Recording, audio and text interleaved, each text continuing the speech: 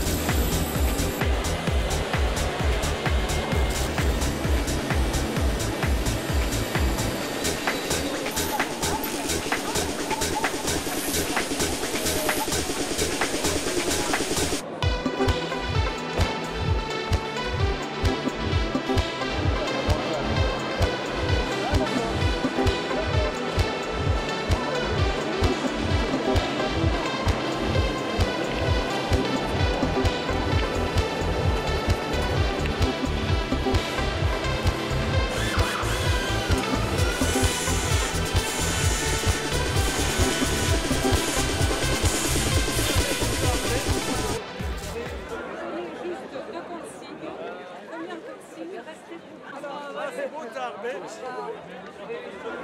Juste deux consignes. Combien de consignes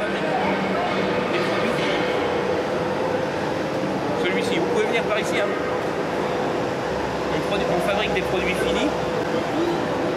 Et euh, pour fabriquer ces produits finis, il y a tout un processus de conception, de réalisation, de c'est moi j'ai une idée d'un produit que je peux commercialiser. Je vais essayer déjà de voir.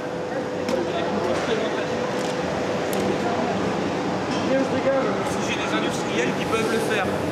Pour ça, il faut que je définisse succinctement les besoins. Qu'est-ce qu'il va faire? Par exemple, ce petit chariot, peut répondre à un besoin précis dans une entreprise on a besoin de déplacer des pièces. C'est pas une notice, c'est un cahier des charges, c'est avant. La notice, c'est quand c'est fini. Ouais. C'est pour dire voilà ce qu'on va pouvoir faire avec ce produit. Euh, donc une fois qu'on a défini ce que peut faire le petit robot, faut montrer, il faut choisir les composants qui vont permettre de réaliser ce petit robot.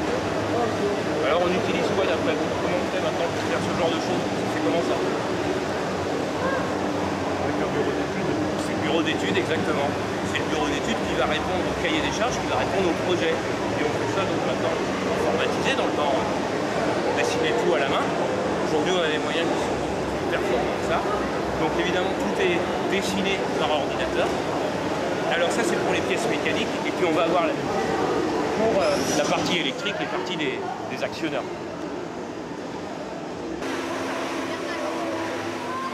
Le jury, vous voyez, ils sont derrière là-bas. Enfin, vous ne les voyez pas parce qu'on est décalé, mais il y a quatre personnes qui notent, qui contrôlent les dimensions de chaque cote avec des instruments de mesure. Et soit la cote elle est bonne, soit elle n'est pas bonne. Si elle n'est pas bonne, voilà, il y a zéro point. Et donc, sachant que chaque cote est précise à quelques centièmes. C'est là qu'est la difficulté. Donc le candidat, il passe une heure normalement sur l'ordinateur, il peut passer plus de temps hein, pas, deux heures et demie sur machine. Vous voyez, il a beaucoup de choses à faire parce qu'il a deux côtés à usiner. Au départ, vous l'avez vu, le brut, comment il est. hein. Et il faut, là, hier, ça c'est la pièce d'hier, il commençait par usiner ce côté, il y a aussi des choses à l'intérieur. Ensuite, il retourne la pièce et ils usinent deuxième. Bah, il faut vous dire que ces pièces vont en général dans les assemblées mécaniques. Donc ça peut être des voitures, l'automobile, l'aviation. En termes de formation, le bac professionnel technicien de ménage.